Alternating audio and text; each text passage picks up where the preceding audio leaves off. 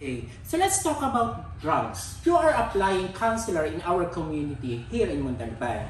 How much do you know about the illegal drugs in our com- community? Are we or we are not narcotic community?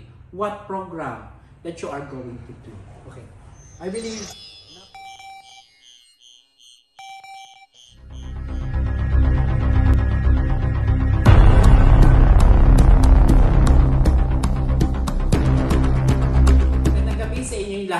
Please welcome our guest tonight is Councilor JT Torio. Magandang gabi sir. Thank you so much for accepting my interview to you sir. ay um, like me na first time tumakbo at uh, I think hindi pa naman lahat ng taga Montalban nakakilala sa akin. Malaking Yes. tulong yung yung mga gantong uh, venue at gantong pagkakataon para mas uh, tulungan niyo akong mapakilala ko rin ang sarili ko sa mga taga Montalban. Salamat din sa inyo. Welcome po. Okay, let's start the interview. For those people who don't know you, who is JT Torio? Um, okay, I think what at least you need to know is uh, I'm an IT professional for 16 years, you know, and I've been uh, working with uh, known companies like Globe, PLDT, Smart. I've been working with IBM, Concentrix, and you know just just to name a few. And I've been helping a lot of LGUs for different types of systems. And uh, in community service, I'm the president of uh, Eastwood Greenview uh, Subdivision Homeowners Association, uh, Phase 5, and then the overall president as well of different phases. But basically, in the entirety, I'm just I'm just a regular private citizen Okay. that uh, has just has this drive lang that uh, maybe I think I can contribute uh, because I have this eagerness and and burning flame sa akin na parang gusto kong gamitin yung aking expertise Okay. sa ano sa sa bayan naman Mm. ng Montalban. So um, I hope na yung 16 years experience ko Mm. is uh, may may contribute naman sa bayan. Okay. What is your age, age rather, among 49 counselor in our community here in Montalban? Um, Edge specifically, I think uh, the profession I've been with, no, I've been roaming around the Philippines and uh, across the globe actually, Okay. no. Kailangan kasi ng Montalban ng uh, taong nag-iisip outside the box. Mm. Most of the counselors which hindi, hindi naman masama that they've been here for the rest of their lives. no? I mean I mean the whole life. Okay. Nandito sila nakatira. Mm-mm. And all the things that they can see uh, dito galing sa Montalban. Lahat ng information na, na alam nila dito galing sa Montalban. Okay. Someone has to step in that from the perspective of outsider. Mm-mm. No, and I think my edge is that I've seen world-class municipalities. I've seen world-class cities. And I've been actually training cities and LGUs Okay. uh, for smart cities. And I, I think um, that that that perspective, that different perspective alone, uh, is my main, my main difference uh, with amongst the other candidates. Ano ang nakikita mo? Bakit ikaw ang dapat umupong bilang isang konsehal dito sa bayan ng Montalban, sir? Okay. Um, number one siguro because I've been around the Philippines Yeah. and I've been around the world. Hmm. Um, meron akong perspective from the outside. Okay. Yan ang kailangan ng Montalban. Mm-mm. Ang karamihan ng mga tumatakbo or karamihan ng mga taga Montalban, matagal na rin taga Montalban. Or at least yung mga namumuno sa atin, yung solusyon at informasyon na nanggagaling sa kanila, galing din sa loob ng Montalban. Okay. Ako, I have first-hand experience ng mga solusyon galing din sa ibang bayan, mga ginagawa sa ibang bayan. And I've seen the comparison kung gaano ang advantage kapag nasa world-class level ka. Okay. So, pangarap ko na ang Montalban umabot man lang doon sa level ng world class. Na kahit na municipality tayo, the process itself and the technology that we're using is world class. Okay, nice. Maganda yan. Okay, ano naman pa ang maidudulot mo kapag ikaw ang naupo bilang is- isang konsehal dito sa bayan ng Montalban? Um, Siyempre, saan pa ako kukuha ng, ah, ng galing, di ba? Okay. Kundi doon sa aking 16 years IT experience. No? Mas marami pang mas magaling naman sa akin sa larangan ng ibang bagay. Okay. Pero ako, ang pag-una kong paggagalingan ng, ah, ng contribution is yung aking expertise sa IT. Mm. So, lahat ng alam natin sa technology na ginagawa sa ibang bayan, na ginagawa sa ibang kumpanya, Okay. yung technology na rin na yon ang iaambag natin dito sa bayan ng Montalban. Okay, so let's talk about the environment and poverty. Bilang isang pinakabagong tatakbong konsehal dito sa bayan ng Montalban, napapansin ko kasi ang mga kinak ah, napapansin ko problema natin dito sa bayan ng Montalban ay ang katulad ng sa environment pagbaha at saka sa property naman po is yung kahirapan. Ano pong solusyon niyo rito, sir?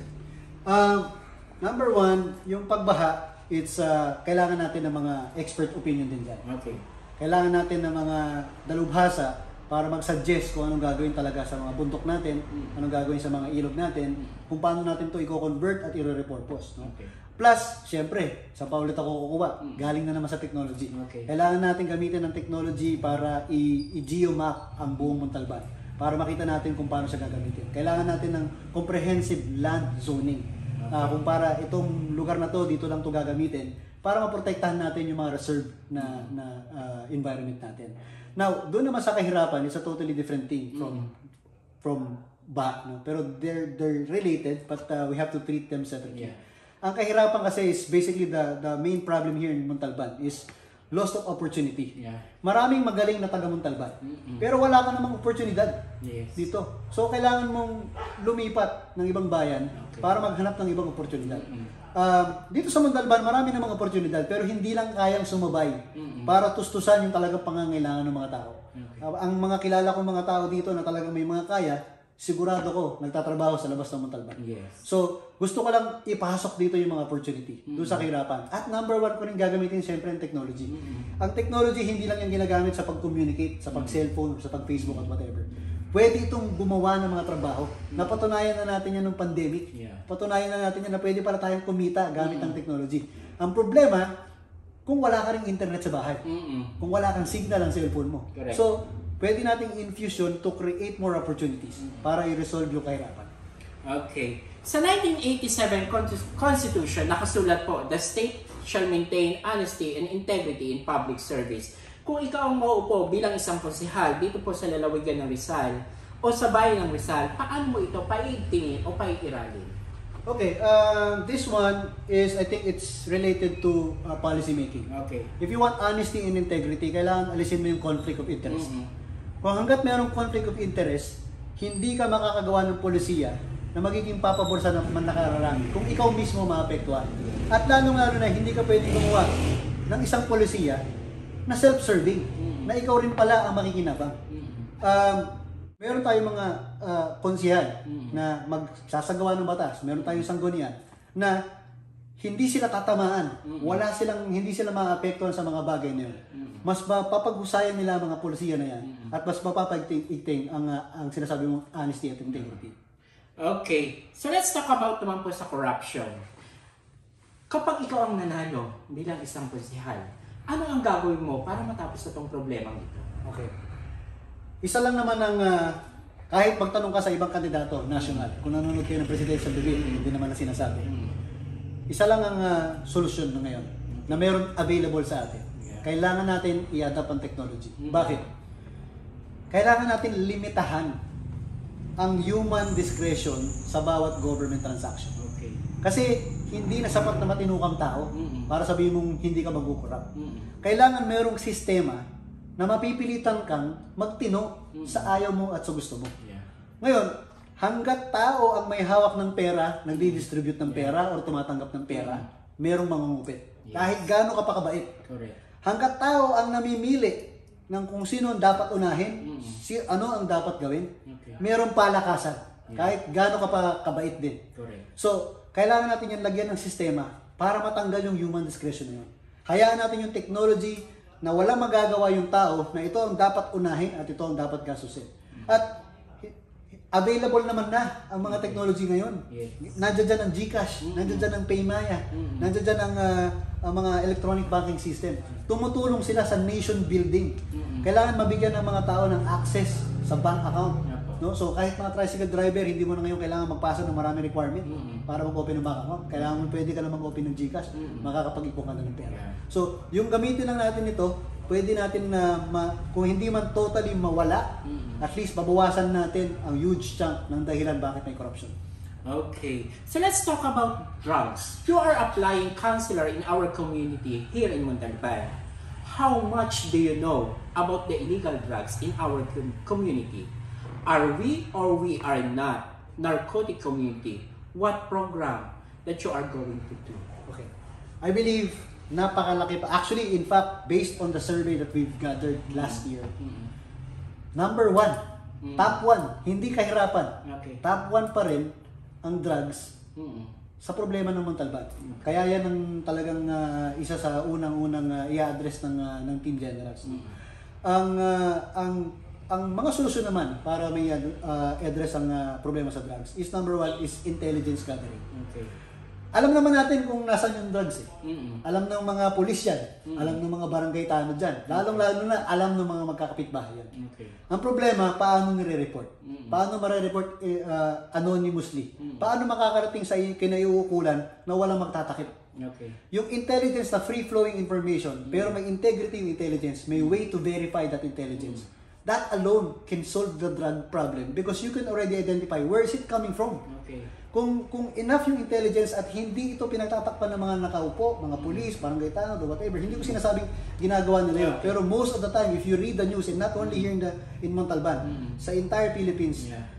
ang problema is nagsisimula sa intelligence. Mm. Tinatago yung intelligence kung nasaan. Minsan, kung meron man makukuha ang information ng police or intelligence, nagli-leak ang Mm. intelligence. So, kailangan natin din, again, gamitin ng technology to ensure that this intelligence is going directly to where it should go.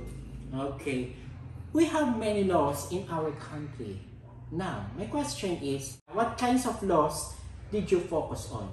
Okay. Um, ang una sa mga ipo-focus kong mga batas is to ease up the the government transaction. Okay. Okay. Um, and then because easing up public service means faster service. Okay. Kailangan i ibalangkas ko yung mga batas na talagang bawasan yung red tape. Mm-mm. At sa totoo lang ako personally, Mm-mm. naiinis ako na kada pupunta ako sa isang government office, Mm-mm. kailangan kong mag-absent ng isang araw Yeah. para tapusin yung transaction ko. Oh, sa sobrang tagal. Sa sobrang tagal at pupunta ako doon ng umaga, hindi ko alam kung anong oras ako matatapos. Mm-mm. At kailangan kong magdala ng napakaraming papel Mm-mm. na paulit-ulit ko lang ng binibigay. Pupunta ako ng barangay, pupunta ako ng munisipyo, pupunta ako ng fire bureau, ng sanitary, etc. Pare-parehong papel ang pinapasa ko. Mm-mm. So kailangan kong maisabatas na paano pagsasama-samahin ng mga ito, paano magtutulong-tulungan ang mga different departments at ang mga ang gobyerno. At kailangan ko itong may budgetan na maging priority project ng ng Montalban. Okay, next. Bakit po kayo karapat-dapat iboto ng mamamayan ng Montalban bilang isang baguhan na tatakbong konsehal dito sa ating lugar? Okay. Speaking of baguhan, Mm. yun ang pinakamagandang sinabi mo Yeah. dahil ako nga ay baguhan. Mm-mm. We are in the age of information. Okay. 2022 na to. Mm-mm. We have to live in the future. Okay. Hindi na tayo pwedeng maging traditional, hindi na tayo pwedeng manirahan the same way that we are living. Mm-mm. And that's what I'm offering. Mm-mm. I'm offering you, ang bayan ng Montalban specifically, Mm-mm. how to live in the future. Okay. How to become a smart city. Mm-mm. How to become uh, uh, a livable municipality Mm-mm. with a world-class level. Okay. Ano-ano po ang mga plataforma ni Konsehal JT Tol? Um, actually, marami, no? Kulang yung uh, ano mo. Pero kung iisa-isay natin yan, ang unang-una ko siyempre yung platforma nga is to increase the municipality's budget for technology infusion. Okay. In terms of all aspect, education, security, uh, environmental, and even public public service. Opo. Second is, uh, ang number one kong plat- plataforma is gusto kong magkaroon tayo ng Economic Zone Authority. Mm-mm. No? If you're familiar with the Philippine Economic Zone Authority, if you're familiar with CESA and Yeah. APECO Okay. and all those other economic zone authorities, they create jobs. Okay. I want to ease up the taxpayers' uh, burden Mm-mm. uh, to create more jobs. Okay. And I want to attract uh, more investors by creating a policy na they will create a business here because it's easy to create business here. Okay. Kasi ang madalas na problema ng uh, mga investors sa atin, Mm-mm. hindi ka pa kumikita pagkakakitaan ka na. Okay. And that's the problem in, in, the entire Philippines. ah. And maybe in our small town here in Montalban, pwede kong simulan na pupunta sila dito. This could be a playground of rich and famous and Yeah. ano eh, if, if the laws are, are, are, are designed that way. So, yun ang aking mga plataforma. Gusto kong, gusto kong mag-attract ng mas maraming tao dito because it's easy to move here sa Montalban. What are the guarantee of the people of Montalban that you are a productive counselor? Okay. Um, being productive means you have to be a working leader. Yeah. Hindi ka pwedeng nag-iisip ka lang ng idea. Yes. Hindi ka pwedeng nagpapanggap ka lang na kaya mong gawin yung mga bagay. I've been working in the private sector for 16 years. Mm. And I I have my boss. Mm. I have my boss's boss. Mm. And I've been working myself. Okay. That means, ang sinasabi ko, ang guarantee ko sa inyo, guarantee ko sa Montalban that I will be productive. Kasi kaya kong gawin yung sinasabi ko. Okay. Kahit nga walang gagawa nun eh. Mm-mm. Ako mismo ang gagawa. Mm-mm. Kung kailangan, kung kinakailangan. Mm-mm. Kung wala tayong IT head na magaling, Mm-mm. or kung wala tayong mga innovators sa loob ng munisipyo, kung wala tayong budget para mag-hire, Mm-mm. ako mismo ang pwedeng gumawa. No? So hindi ko kailangan, yung mga binabanggit ko kanina na mga experience ko, Mm. ibig sabihin, pina, gusto ko lang iparating sa bayan natin na hindi ako nagpapanggap. Mm-mm. Madali lang gumawa ng idea, Yeah. madali lang gumawa ng plataforma. Okay. Pero, kaya mo ba gawin yun? Yeah. So, yun po ang aking ino-offer. Okay. So what is your last message to all the people here in Montalban, sir? Ang um, last message ko no, sa taong bayan ng Montalban. Huwag na po tayong mabuhay sa nakaraan. No? Um, we are we are in the age of information. Nasa makabagong panahon na tayo. The more na ninineglect natin ang makabagong panahon, the more tayong napag-iwanan. At lastly, meron po tayong dapat bagong minahin. Hindi po ginto, hindi po bato, hindi po quarry, hindi po whatever. Ang data. Ang data is the source of truth. No? Yan sana na data, mga information na yan, ang ah, maging basihan ng mga leader natin para gumawa ng mga desisyon. The more we are disconnected from the truth, the more wrong decisions our leaders will make. And for every wrong decision, sa kada maling decision na gagawin ng mga leader natin, merong taong maghihirap, merong taong mamamatay, merong taong maaapi, merong makikinabang pero iilan lang. So, ang kailangan natin na ngayon ng mga leader is handang harapin ang katotohanan. Ayaw magpanggap. At number one pa, kailangan kayang tanggapin ang pagkakamali. Yun po ang ino-offer ko sa inyo. Dahil hindi po ako magiging konsyal na magiging nakapikit at susunod-sunuran. No? Ako magiging konsyal na gagamitin ko ang data para maging basehan ng aking desisyon. At wala lang iba. Okay. Maraming maraming salamat, sir. Thank you so much for your time. Thank you. God bless you. Mabuhay ka. At sa lahat naman po ng nanonood dito sa bayan ng Montalban, stay good, stay healthy, mag-iingat po kayo palagi. Maraming salamat. Good evening. Paalam. Thank you.